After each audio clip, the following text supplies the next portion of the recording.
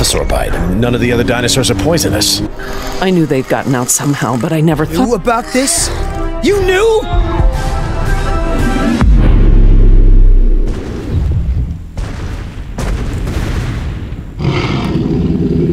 So, hallo und herzlich willkommen zu unserem neuen Let's Play, Let's Play auf Kais Retro Games hier auf YouTube in der neuen in der neuen Kategorie Jurassic Park The Game. Ja, ich habe es ja schon im Werbevideo vorgestellt gehabt und äh, jetzt gehen wir es dann doch mal endlich an. Äh, zum Spiel selber, es ist aufgebaut von der, von der Flüssigkeit halber wie ein Film, gemacht von Telltale Games und ich muss sagen, ich bin von den Spielen, die Telltale herstellen, immer relativ fasziniert, weil das ist halt eben doch was anderes wie dieses standardmäßige Shooter oder oder oder oder äh, wie Dino Crisis 1 jetzt zum Beispiel auch war mit viel Rätselraten und so weiter. Äh, das ist halt eben wirklich fließend, erzählt eine schöne Geschichte. Mir taugen solche Spiele einfach, muss ich jetzt mal echt sagen, also mir liegt das gern. Und gut, dann würde ich jetzt sagen, fangen wir einfach mal an. Fangen wir an auf Episode starten. Das Spiel ist aufgeteilt in vier Episoden und wir beginnen jetzt einfach mit der ersten.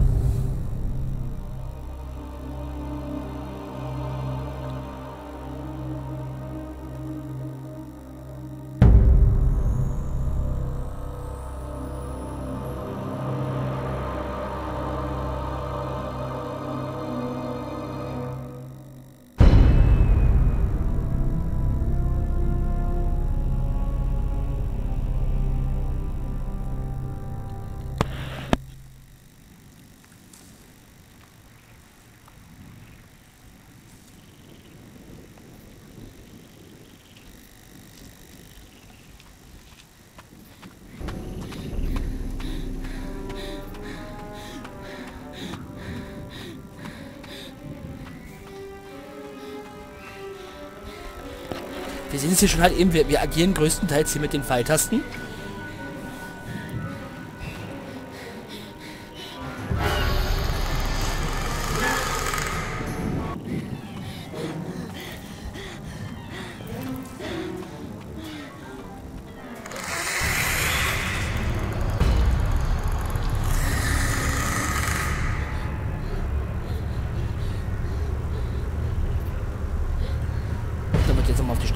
Hingewiesen, dass man dann halt eben äh, durch die Blickrichtung diverse Objekte jetzt äh, erforschen und beschauen kann. Das wird auch im Spiel halt eben alles so bleiben. Weil das sind jetzt mal so die Grundkenntnisse, dass man sich da so ein bisschen reinfühlen kann. Wir werden beobachtet.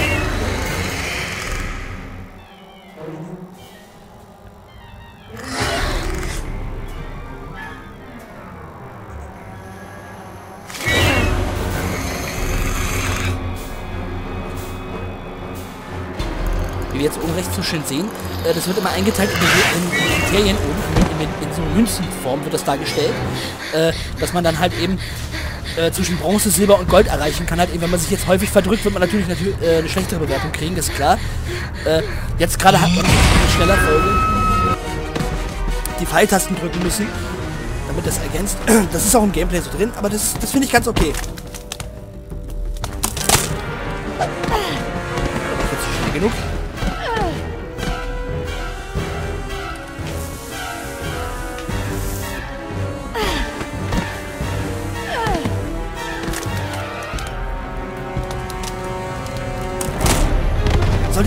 Öfteren von mir die Tastatur klappern hören, halt eben auch so die Tastengeräusche mit. Das ist von mir übrigens so gewollt. Das ist jetzt nicht ungewollt oder so. Ich finde, das ist ein bisschen authentischer einfach.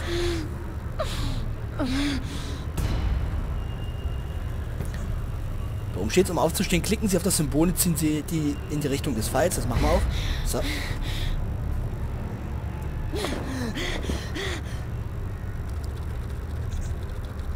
Jetzt wieder schnell die Pfeiltaste drücken.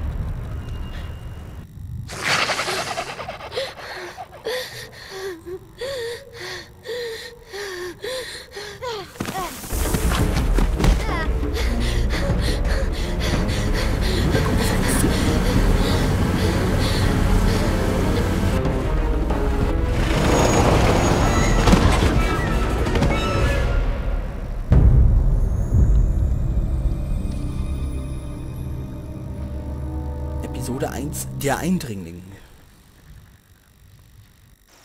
Wie schon gesagt, es ist halt eben relativ filmisch aufgebaut und ich finde das auch sehr schön.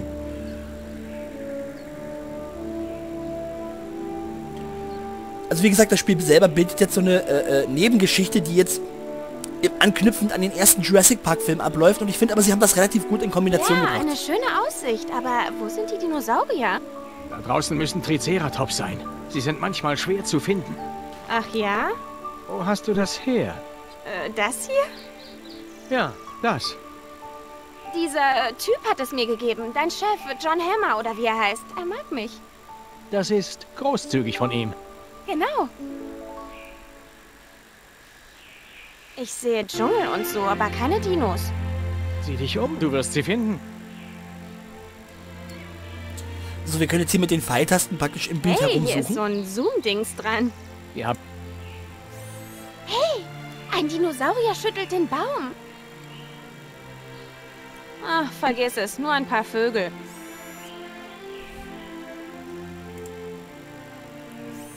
Ich sehe einen... Oh, egal. Nur ein Felsen. Ich sehe einen Felsen. Können wir da runtergehen und die Dinos aus der Nähe sehen? Durftest du ins Tigergehege, als ich in San Diego war? Das war was ganz anderes. Außerdem war ich erst sieben oder so. Genau, und ich hatte eine Heidenangst um dich. So, dann schauen wir uns noch mal in einer Gegend ein bisschen um. Da ist ein Haufen braunes Zeug. Ist das... Wahrscheinlich. Und das würde vielleicht heißen, dass dort ein Dinosaurier ist. Ich glaube eher zehn. Naja, wer isst, muss auch, äh, ja. Was ist das für eine gelbe Blume? Sieht aus wie Mams Paradiesvogelblume, nur irgendwie gesünder. Es ist Heliconia. Wir haben sie zur Verschönerung vom Festland hergebracht. Schön ist natürlich hier wieder auch, dass man so viele Nebendinge über den Park erfährt.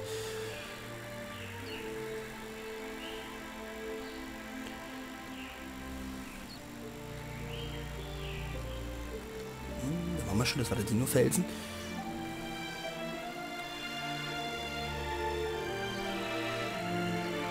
Ich glaube, ich kann das jetzt nicht abkürzen. Ich glaube, ich muss diverse Dinge einfach anklicken.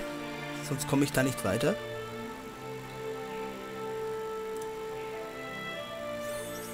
Da unten ist ein Auto.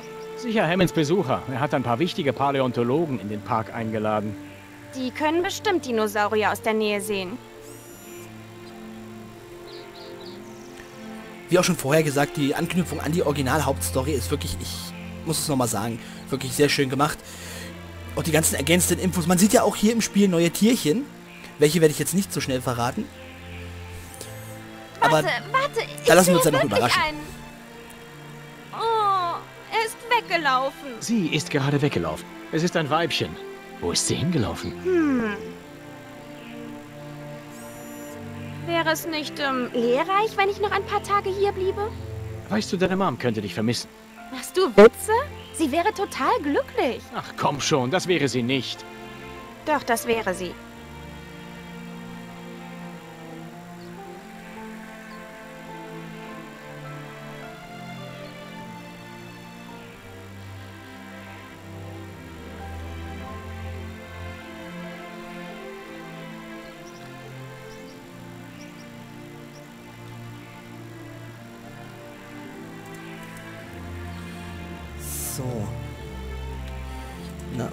Gameplay gerade so ein bisschen, was es will. Oder ich bin relativ eingeschränkt jetzt bei der Sicht. Jetzt, jetzt habe ich es geschafft. Jetzt kann ich darauf klicken. Okay, ich sehe sie. Warte, da ist ein ganzer Haufen. Oh, krass. Sie kämpfen. Das wollte ich unbedingt sehen. Eigentlich ist es eher Dominanzverhalten als Kampf. Weißt du noch, wie Paige auf eure Welpen reagiert hat? So ist es auch mit Lady Margaret und dem jungen Triceratops.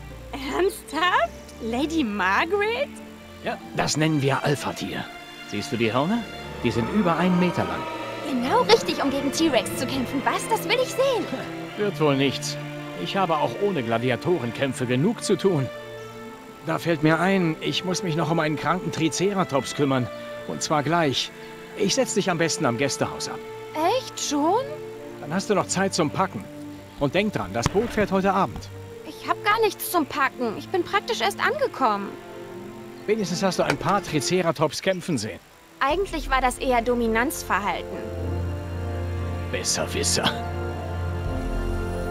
Komm, gehen wir. Achten wir auf ruhiges Wetter. Bei starkem Seegang ist es nicht sehr lustig an Bord.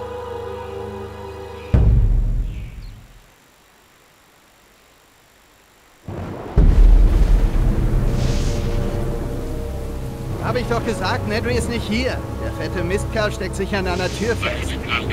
Machen Sie sich keine Sorgen. Plan B ist bereit. Plan B ist genau hier.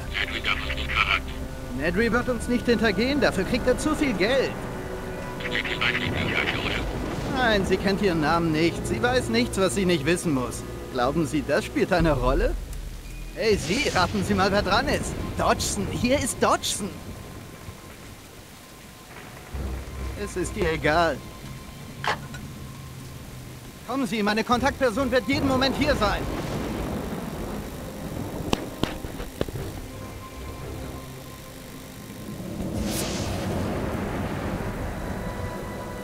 Okay, wir haben wieder Handlungsspielraum. Weiß Ingen, dass Sie die Jacke geklaut haben? Verdeckte Operation muss mich anpassen. Ja, und was ist mit mir? Sie folgen mir einfach. Was ist auf dem Foto? Das? Das hier wird uns beide reich machen. Deswegen sind wir hier. Rasiersaum. Aha, sicher. Rasierschaum. Ah, wir sind jetzt gerade. Jetzt, jetzt kommen langsam so die Dialogoptionen, die man im Spiel hat. Ihr Mann kommt nicht. Suchen wir ihn. Keine Sorge. Es kann gut sein, dass Nedry im letzten Moment... Verdammter... Okay, ich schätze, wir müssen ihn suchen. Wenn jemand anhält, zeigen Sie diesen... Wo ist das diesen... Problem? Wir brauchen Zutrittskarten. Verdammt, Dodgson! Ich muss einen Idioten anrufen. Passen Sie auf, dass Sie niemand sieht. Ohne die Zutrittskarten sind wir aufgeschmissen.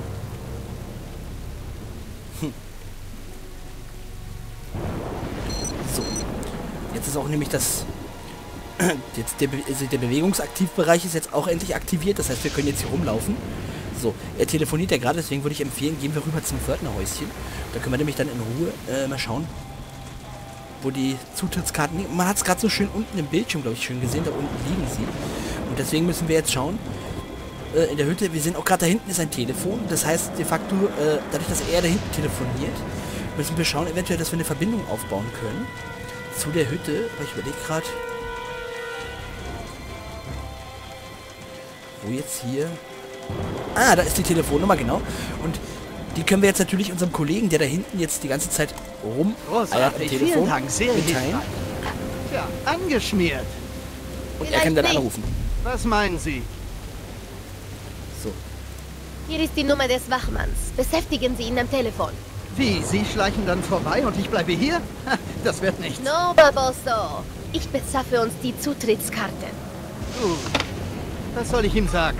Halten Sie ihn am Reden. Genau. Äh, hi, ja. Wir schleichen uns da jetzt rüber und stibitzen derweil. Nein, nein, wie ich schon sagte, ich hatte die? Frühschicht. Ich bin... Ja, aber warten Sie, da ist noch eine... Hey, ich dachte Sie... Oh. Okay, das war gut, aber... Hey, hey, Sekunde mal. Sie arbeiten für mich, schon vergessen? Ich gebe also die... Sie können dort nicht lang. Hallo? Äh, hi. Äh, wir haben Zutrittskarten. Tja, schön für Sie. Aber das ist eine Sturmevakuierung. Nur das unentbehrliche Personal bleibt auf der Insel. Sie müssen auf das Boot. Ja, ich meine, ich, ich habe ein paar grundlegende... Mit wem sind Sie hier? Ich, äh, ich gehöre zu Ihnen. Ich bin neu. Was ist mit ihr? Sie äh, gehört zum Wartungsteam. Na los, sagen Sie es ihm. Ich repariere Dinge. In diesem Sturm? Was genau reparieren Sie? Gut, äh, ich würde jetzt spontan einfach mal Zäune anwählen, weil das vielleicht doch etwas das Klügere ist. Weil Elektrik und so weiter, wir schauen jetzt Ich nicht höre wie mich. ein Elektriker. Ich repariere Säune. Regen oder nicht. Sie müssen repariert werden. Und wozu ist die Machete? Das ist ein gutes Allzweckwerkzeug. Schneiden, hacken, was Sie wollen. Anker werden gleich gelichtet. Alle an Bord. Ja, aber das ist doch ganz gut abgeschlossen. Dafür habe ich keine Zeit. Bürgen Sie für sie? Was? Ich sagte, bürgen Sie für sie. Ja, ja, okay. Verschwinden Sie. Nächstes Mal sollten Sie mich reden lassen. Este Guanacas. Dann geht es jetzt auf in den Dschungel, in den wilden, stürmischen, nassen Dschungel. Immerhin lässt der Regen nach. Au, Ingen hätte die Insel zubetonieren sollen.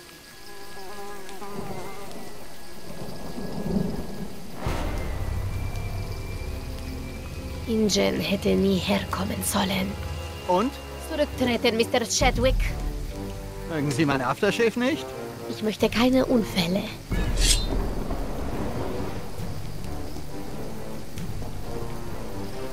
Jetzt müssen wir uns natürlich mit der Machete durch den Dschungel kämpfen.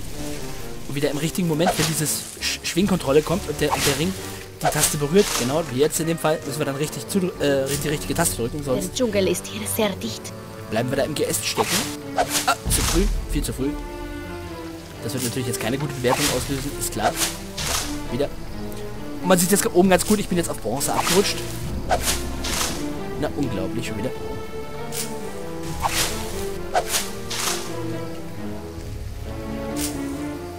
Warum halten wir?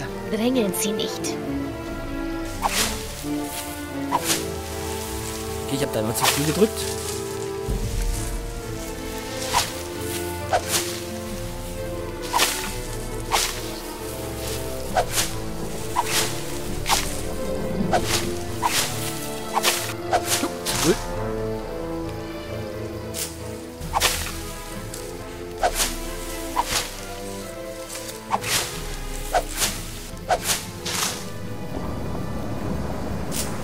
Schon bereits, gibt es dann immer am Ende von jeder Episode gibt es dann immer äh, die, die, die abschließende Bewertung nachher mit, äh, mit Medaillen und so weiter.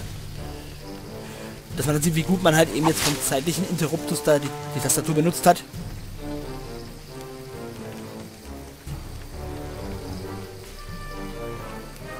Ab durch den Dschungel abgeschlossen.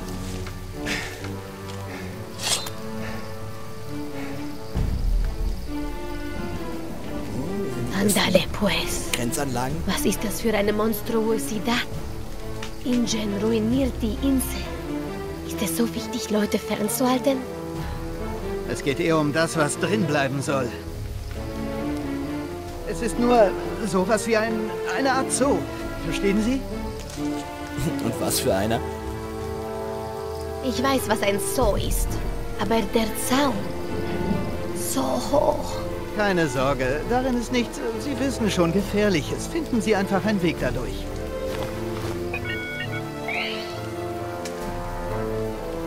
So, wir schauen jetzt mal, dass wir da was Logisches finden. Und jetzt mal generell um. Ah, schon. Den, da haben wir einen Stock, mit dem können wir interagieren. Das werden wir auch gleich machen.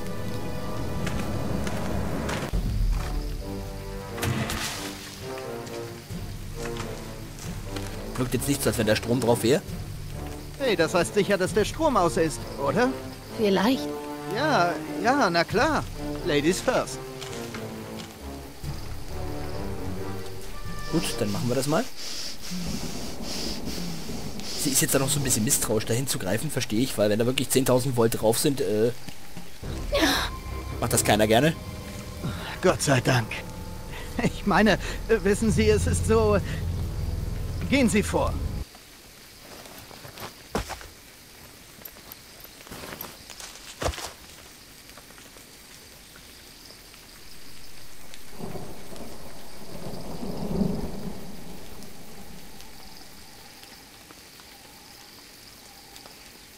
Man merkt, der Regen lässt leicht nach. Was ist los? ¿Qué es esto? Kein Vaquero. Wie ein Vogel, aber viel zu groß. Ich sagte doch, es ist ein Zoo. Alle möglichen Tiere. Äh, Los, los, wir sind fast da. Haben Sie das gehört? Was war das? Ein Tier. Etwas, das ich noch nie gehört habe. Okay, dann wir, wir sollten... Wunder.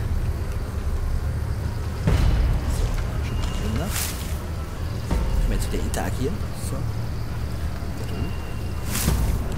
Hin und wieder ist jetzt auch wie hier, dass der Schwenkbereich vom, vom, äh, vom Game selber beeinflusst wird. Wir nennen ihn Mokupa. wie ich diesen Dschungel hasse. Dort. Hier lang. Nach dem Motto, hier kommt das Vögelchen. Das ist es. Maximale Signalstärke. Es ist ganz nah. Es ist zu dunkel. Ich brauche Licht. Wo ist Ihre Taschenlampe? Die haben Sie. Ach ja. Habe ich sie fallen gelassen? Haben Sie etwas gesehen? Verfluchte. Hier drüben. Na also. Hey, Nedry! Stecken Sie fest oder was? Nedry! Sind Sie taub? Da kletter ich nicht mit meinem Wir haben ja im Film gesehen, dass hey, ich gehe außen rum. Das geht äh, versucht hat, die Embryos mit dieser Barbasol-Dose zu, zu stehlen und dabei ja dann leider Gottes in die Miserie mit dem Dilophosaurus kam. Und jetzt, jetzt haben wir natürlich den unschätzbaren Vorteil, dass wir erfahren, wie es da weitergeht.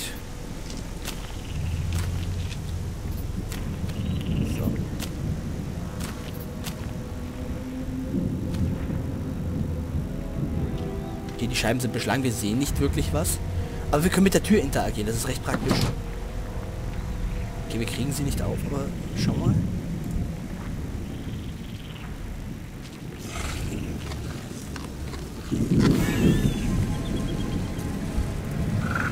Hallo? Jemand da?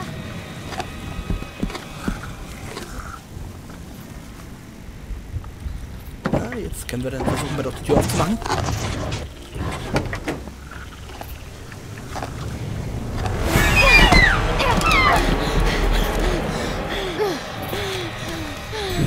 Na, geschafft? Ich hab doch gesagt, herumgehen ist besser. Ihre Kontaktperson.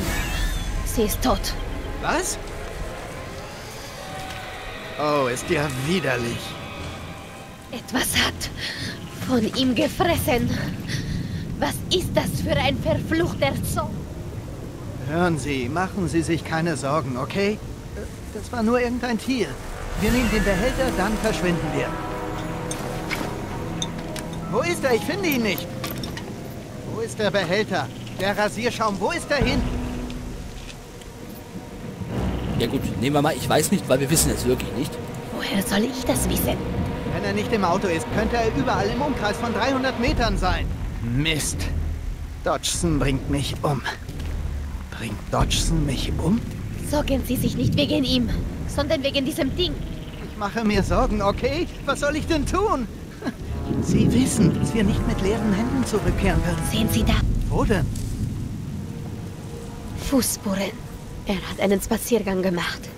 Seine Spur ist eine Fährte, der wir folgen können. So finden wir den Behälter. Richtig. Okay, das, das ergibt Sinn. Aber warten Sie, was ist, wenn eines dieser...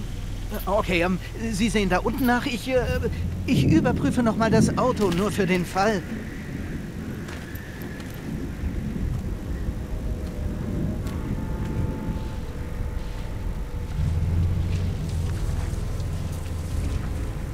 So, für alle, die das jetzt zum ersten Mal spielen, würde ich empfehlen, dadurch, dass man jetzt hier, wir haben jetzt hier die Spuren und können auch jetzt wieder natürlich in diversen Bereichen interagieren, so damit wir jetzt aber hier unten auch beim, äh, hier hinten in dem Bereich, wo es dann wirklich handlungsstrangmäßig wichtig wird, was sehen, würde ich empfehlen, gehen wir nochmal hoch zum Auto und äh, wenn uns das dann möglich ist, richten wir oben die Scheinwerfer dann aus, dass wir ein bisschen mehr sehen. Oh Mann, riecht das übel. So. Nach da hinten hin. Genau, wunderbar, das passt so. Checken wir dann wieder auf die Hand, um das zu bestätigen. Das kann nicht gut für meine So, Nebenhöhlen jetzt- sein. Jetzt gehen wir da runter.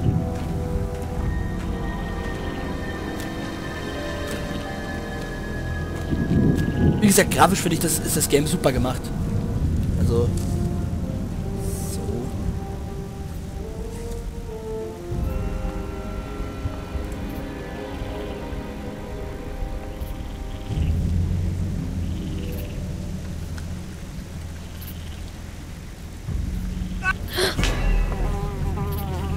Verdammte Käfer! Was? Was ist Ihr Problem? Nichts. Gefunden? Der Behälter ist nicht hier. Oh, verdammt. Ich bin am Arsch. Wir können nicht aufgeben. Seine Spur endet am Wagen. Sie müssen etwas übersehen haben. Keine Chance. Ich habe das Ding auf den Kopf gestellt. Ich werde eine Woche nach totem, fetten Kerl stinken. So, dann sehe ich halt nach. Gut, wie Sie wollen. Ich könnte etwas frische Luft brauchen. Ja, das ist ein Speicherpunkt. Ja, ich würde sagen, unser Let's Play, wir sind jetzt erstmal so weit halt eben, äh, ob wir dann die Dose finden ähm, und äh, was es damit mit allem anderen noch ringsum sich auf sich hat und vor allen Dingen, in welchem Bezug jetzt sie hier natürlich zur Insel steht.